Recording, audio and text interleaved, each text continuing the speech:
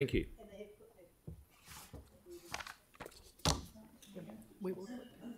Okay, so now we hear from councillor Melanie Coker. The um, hearings panel report on the High Street uh, improvements. We've got Rebecca and Jacob here. I think, yes, we have. So um, come to the table, please. It'll be interesting.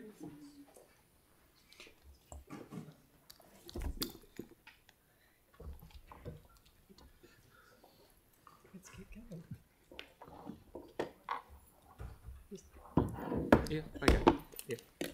Great. Um, yeah, I'll speak to this first as the chair um, for the hearings panel. Um, the um, there were two options that were presented. Um, the option one was the one recommended by staff, which was to put um, basically the right um, hand turning arrow from High Street into St Asaph, and option two was not to do that.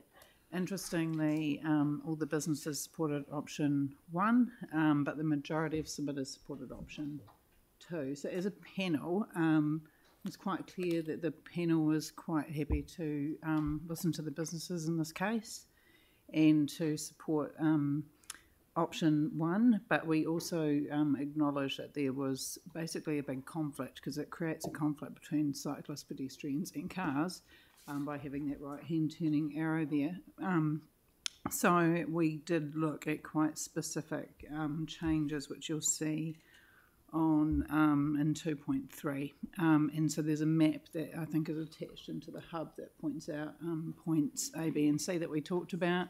There's a lot of things like tactile pavers in response to the submissions that we heard from. So that's about it. Okay. So has anyone got any questions of staff? Yani? Just wondered how confident staff are in the costings associated with the project. Yeah.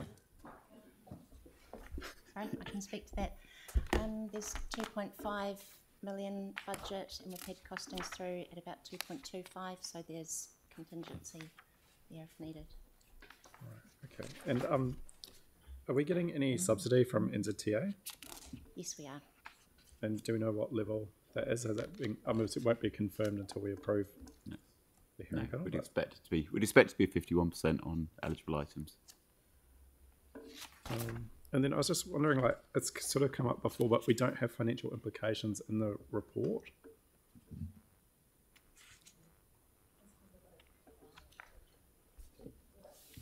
So I just wondered why we don't have like a section that talks through the financial implications.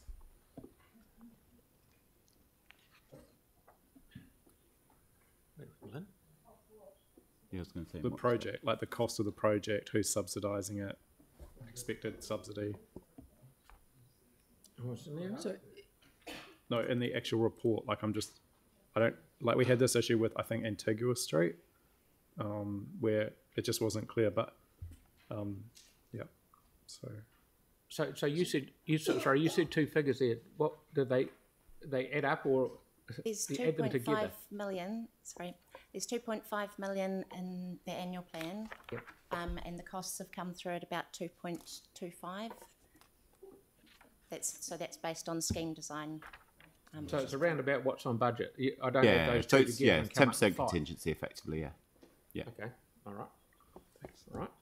And my, I'll ask a question. Uh, so in general, and Melanie will probably answer this, all the adjacent landowners are as happy as they can be.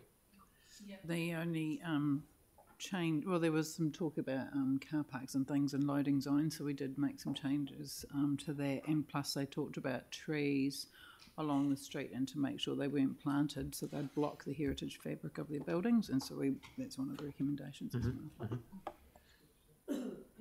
and this, um, I can't make it big enough. That's got the, what I call sharrows or something down the middle of the road, is it? With the, there's a cycleway down the middle of the road combined with the, with the cars. So that's right, I understand? Mark? Oh, you're just answering that. Right. Andre? Thank you. Is there? Um, are you able to tell me the reasons why we, we couldn't or shouldn't retain a 30k limit through here?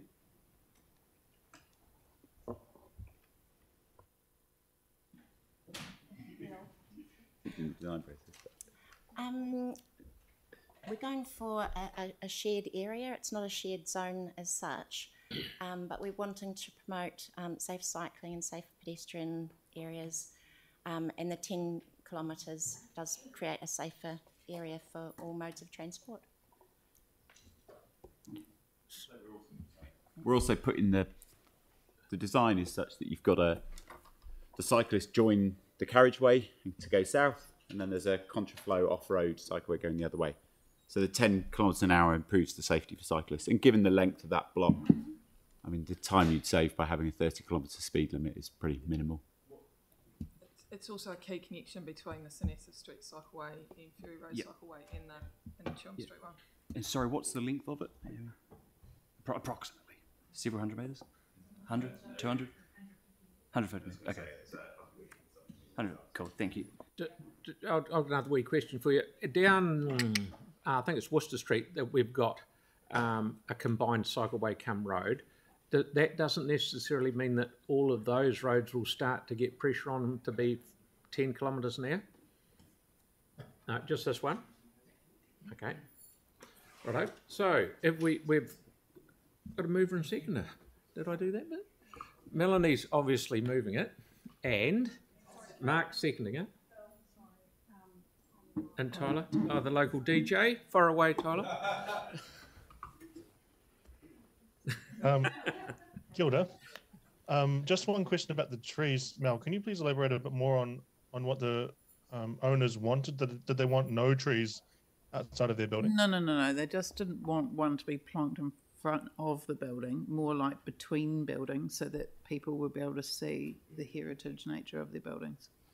Oh, gotcha, gotcha. No, that's cool. That's the only question I had. Thanks. Okay, thank you very much. Right, uh, we've got Kelly and then Yani. Um, thanks. Yeah, just in terms of, um, to be clear, so um, you're expecting cyclists to ride at 10 k's an hour uh, through that area? We are. Yeah. um, I think that's probably quite aspirational. um, yeah. Yeah, I mean, yeah, look, uh, I, I understand. Uh, drivers are probably a bit more used to slowing down, you know, when they, uh, yeah, because of enforcement.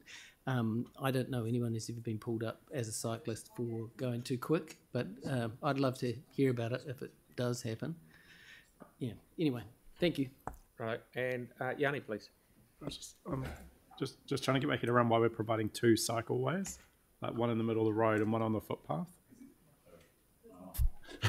So it's one way. So the road is one way. So if you're going southbound, so from the central city out to the major cycleway, you cycle in the road out, and the other way is effectively a contraflow. Off-road contraflow going north. So you come, if you come from the cycleway I get it. from Ferry Road up to the central city, then you're off the road. Yeah. And the reason that you didn't put a two-way cycle path, path? Space, effectively. I think there was there was a proposal for a two-way cycleway, from memory. Um, It, it's a good result for a difficult uh, piece of area. I yeah, think. I mean, you, you, you lose road space effectively, so you'd lose parking and other things which Aaron? people are keen to keep. So if we're going to make it the speed of a car park, why don't we just make it a car park and put all perpendicular parking down, and then just people would go really slow and would get a lot more cars in. Um, I can talk to that. Um, one of the options we looked at was perpendicular parking, and it was seen as a, a safety concern um, with people reversing out into um, the one-way road. But it's 10k, so Um, it was still more dangerous than this Right. proposal. I mean, you almost struggle to scratch paint at 10k. Okay, so I any debate? Sarah? Thanks. Um, I'd like to thank the panel for their work on this. This has been a long time coming back, um, and it's not an easy section section of road. I know that there was this was part of a, um, a consultation and stuff. Gosh, maybe four years ago, um, and we can see how amazing the other section of High Street now looks. Um, and I think that the businesses down here will um, benefit from having a, a better looking street. I know that the, the street's really rough at the moment.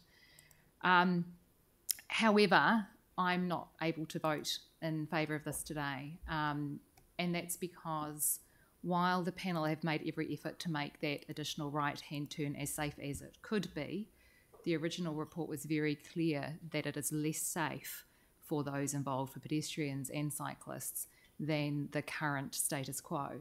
And I think that as a council in a climate emergency, putting in an extra piece of roading um, and making it less safe for pedestrians and cyclists is a backward step. And um, majority of submitters agreed. Thanks.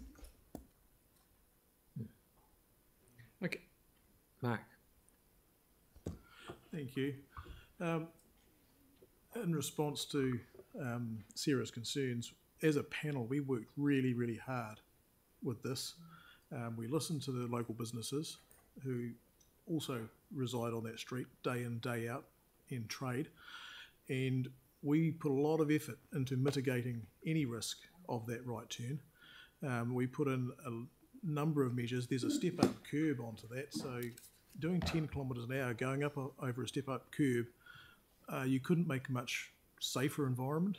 Um, and to the um, talk about the 10 kilometre speed limit for everyone, uh, we've even gone as far as re- recommending to put 10 kilometre speed limit signs in for the cyclists to remind them that this is a 10 kilometre area so that uh, should we need to enforce it, Kelly, um, at least we give the local constabulary every opportunity to do so.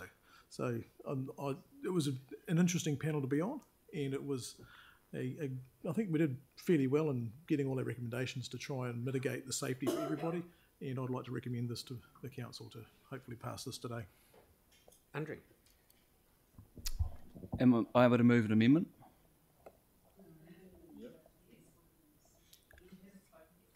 Um, that This depends can on we what Do it that yet? is. Yeah.